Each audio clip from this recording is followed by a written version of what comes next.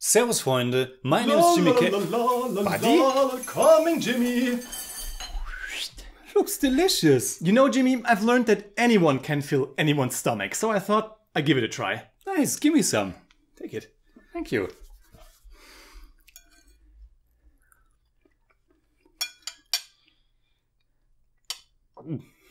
Jimmy? Jimmy, you alright? Please call an ambulance. Um, anyway, only a few days till the grand opening of the Buddy Hotel.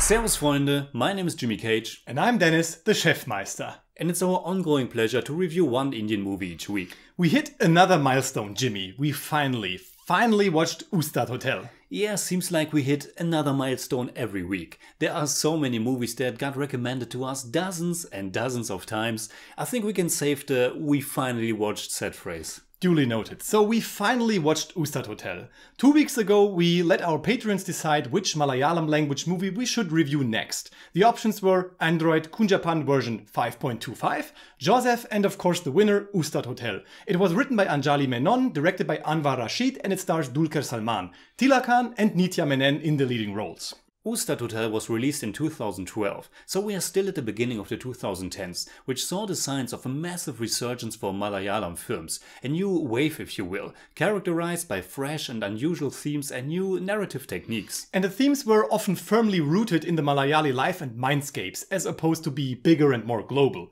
Ustad Hotel builds a global connection in its story, but clarifies its position in the course of time. And that position is why go abroad if you have everything you need and more right in front of you? And also when you and your talents and passion are needed. The story follows Faisal, known as Faizi, played by Dulquer, who studies in Switzerland to become a chef. Against the wishes and the knowing of his father, who assumes his son will fill his footsteps.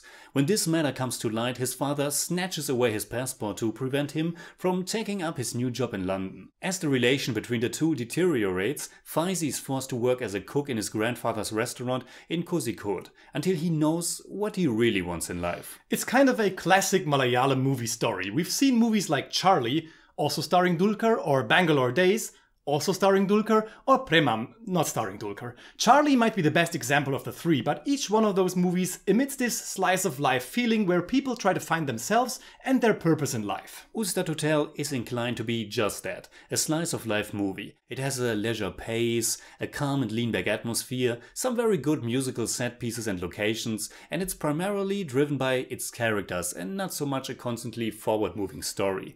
It's a nice, diverting film with some important topics on its mind, but I think it's not quite realistic and raw enough to make a big impact. The first time I really thought of that was after about an hour, when Faizi and Shahana try to hitchhike and Faizi wears the burqa. It's just a little bit too silly to appear realistic. The whole movie is also much too polished and slick for that. It sometimes even boasts the aesthetic of a music video. It wants to click with the audience and wants to leave nothing to chance. It certainly wants to appeal to a wider audience. The general themes are a clear indication of that. Self-discovery, the native country, dreams, love, fate, the new versus the old, capitalism, poverty, and so on. It's a pretty mainstream crowd pleaser and as such, it's fine. It definitely is. I mean, it tackles topics and with that also issues that can potentially be called not mainstream, but the way everything is shot and most importantly staged, especially with regard to the music, it wants to please the audience. I kind of ran through different stages and feelings with this movie. The beginning was nice, how Abdul wishes for a son so much but gets bumped out every time another daughter is born is really funny. Very quirky beginning, and when Faizi is finally born, we jump a few years ahead and get this very nice montage of how his sisters get married.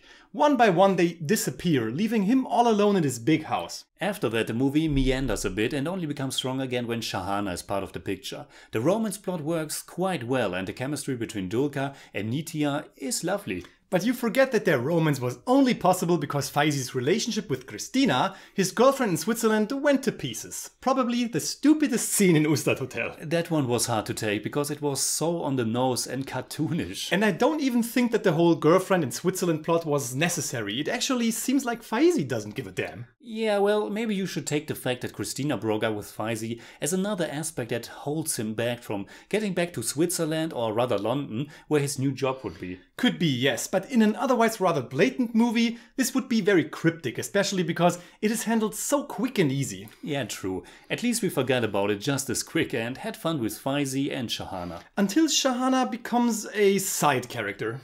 Yeah, kind of. Ustad Hotel crams a lot of stuff in its 150 minute runtime. It feels like every time you are finally into something, like the romance, it gets dropped for something else. So we have many themes, but they are mostly just broached.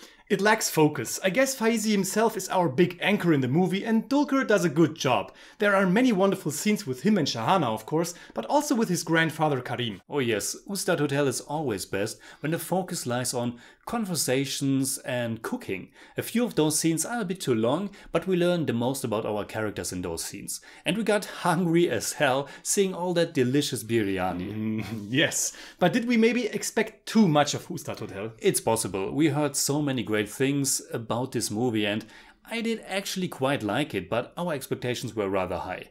But at least we were treated with some genuine lovely song and dance sequences. I especially liked the one in the club where Shahana's band was performing. You could argue that it doesn't add a whole lot to the story, but it reintroduces Shahana into the narrative, incorporates the theme of food, and it's just super entertaining to watch. But in other scenes, the movie more or less just blatantly steals music pieces from Finding Nemo and Road to Perdition, as well as a piece from Vangelis.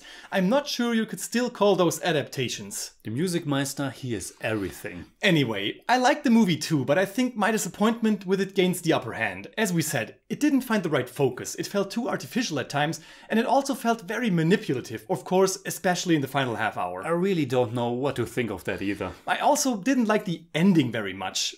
Spoilers ahead. The Ustad Hotel looks like an amusement park, and with that second store, it sounds like it's becoming kind of a franchise. Well, come on, it's still a family business. Just saying, looks strange given the fact that the hotel was forerunner in the fight against capitalism. Don't overdo it, buddy. I think my biggest problem with this movie is that it seems wrong how everybody tells Faizi what to do and how they influence him in a way that opposes his dreams until he finally understands that they were right. Of course he's happy in the end, but it still feels imposed. I get what you mean, but I think you misunderstood what lies at the heart of this movie. Food. Food? Food. A catalyst of personal transformation. Very well then, case closed. What would we say in German about Ustad Hotel?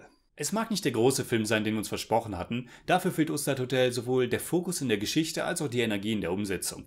Dennoch weiß er vor allem durch seine Ausflüge in kulinarische, philosophische Gefilde zu gefallen. I give Ustad Hotel 7 out of 10. It's more like 6.7, but I don't do that. For me, it's 6 out of 10. It's more like 6.3, but I don't do that either.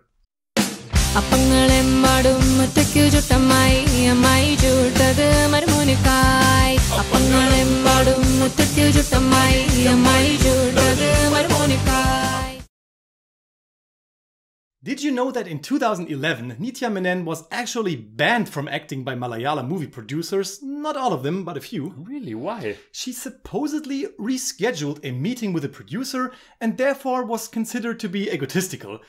Ustad Hotel almost wasn't released because of that. Sounds stupid. Correct. Perfect. What are your thoughts about Ustad Hotel? Leave a comment, and until next time, you can hit me up on Twitter, Instagram, and Letterboxd simply at the Jimmy Cage. And you can hit me up on Twitter at the Buddymeister. You can also find our newly launched Patreon at patreon.com slash the Jimmy Cage to get extra content and ways to participate even more in our exploration of Indian cinema. And if you enjoyed this review, please give us a thumbs up, share, subscribe, whatever you like, and make sure you hit that bell for all we have to tell. Nice, give me some. Here, take it. And ta-da! It's also only a few days till the grand opening of the Buddy Hotel. I'm so proud. Boom. What?